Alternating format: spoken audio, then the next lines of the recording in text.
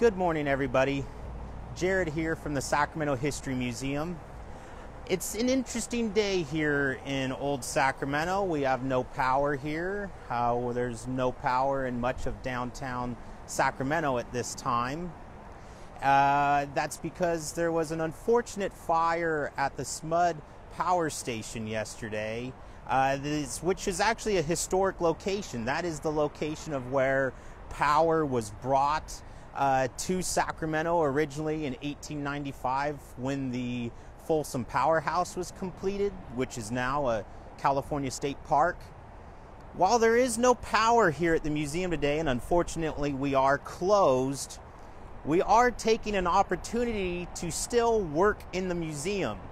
Howard and I have been printing quite a few different things this morning. We filmed a couple videos, and uh, let's go take a look at uh, what our shop looks like today with no power. So let's go head on inside here. And we're getting you a, a little glimpse at what maybe printing was like in the 19th century prior to power. Now, mind you, the lanterns that we have are uh, modern. we don't have candles or, or kerosene oil lamps or anything like that at this time because uh, we're inside inside of a museum and we use a lot of kerosene for cleaning our equipment and the ink consists of linseed oil. So we want to be as safe as possible still.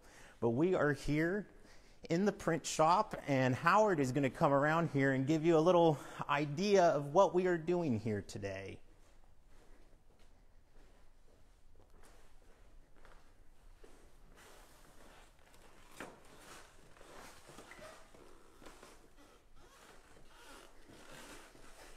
Well, we're in the museum without benefit of electric lights or anything else, and this could have been what it might have looked like, uh, although work, working with with uh, kerosene lanterns uh, might have might have been a kind of a tough deal, especially if you're setting six point type.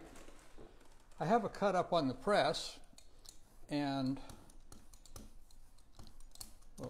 get a little little ink here and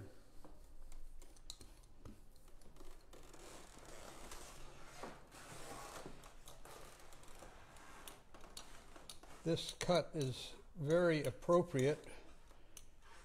Because today's a historic the, the day, day, isn't it, Howard? Yes, the day that the what we call the Tower Bridge first opened to the public.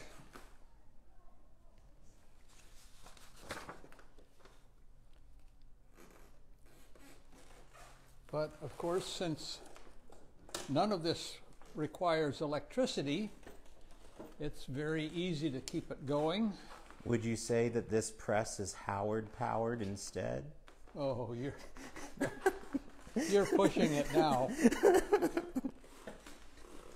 That's a reference to a cut that we recently received here in the shop that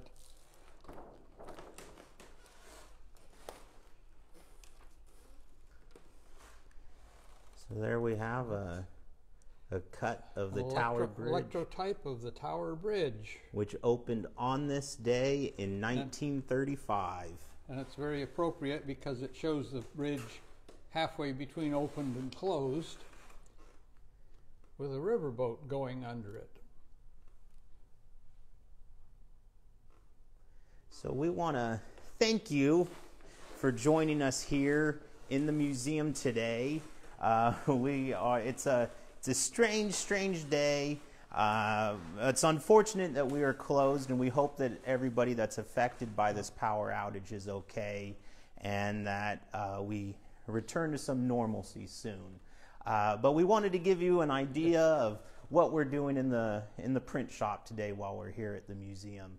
So thank you everybody for joining us during this live today, and have a great rest of your day. Bye, everybody.